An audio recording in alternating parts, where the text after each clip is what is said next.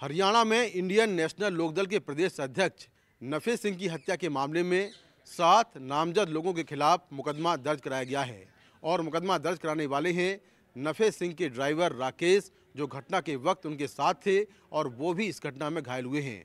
आखिर जिनके खिलाफ मुकदमा दर्ज हुआ है वो कौन है और क्यों उनके खिलाफ हत्या का मुकदमा दर्ज कराया गया है, ये मैं आपको बताता हूँ।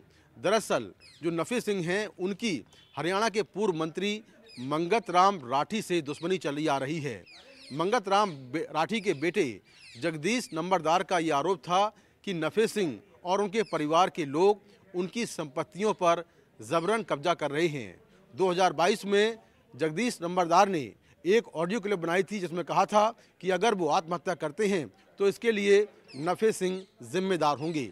इसके बाद 2023 में जगदीश नंबरदार ने जहर खाकर आत्महत्या कर ली। इस मामले में हरियाणा पुलिस ने नफे सिंह समेत कई सरकारी अफसरों के खिलाफ आत्महत्या के उकसाने का मामला दर्ज किया था, जिसमें नफे सिंह ने एंटीसिपेटरी बेल ले रखी है।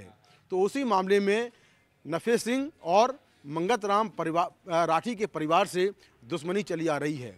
अब जो नफे सिंह का ड्राइवर राकेश है, उसने मंगत राम राठी के परिवार पर हत्या का मुकदमा दर्ज कराया है।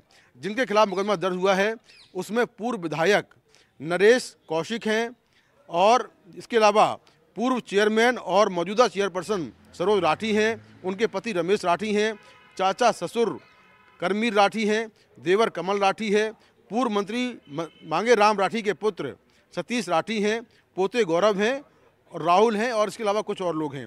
इनके खिलाफ आईपीसी की धारा 147, 148, 149, 307, 302, 120 बी के तहत मुकदमा दर्ज किया गया है। यानी कि इन दोनों परिवारों की दुश्मनी चली आ रही थी जिसको लेकर एक परिवार ने पहले नफे सिंह पर आरोप लगाया आत्महत्या के लिए उकसाने का ज़मीन कब्जाने का। अब नफे सिंह के परिवार ने मांगेराम राठी के परिवार पर हत्या का आरोप लगा दिया है। हालाँकि अभी तक ये साफ़ नहीं है कि जो शूटर चार से पाँच शूटर जो आए थे वो कौन थे उनको किसने हायर किया था और जो गाड़ी थी जिसमें आरोपी सवार थे, वो गाड़ी गाड़ी किसकी थी, ये भी अभी साफ़ नहीं है। तो हरियाणा पुलिस की एसआईटी इस पूरे मामले की जाँच कर रही है और जाँच के बाद साफ़ होगा कि आखिर हमलावर कौन थे।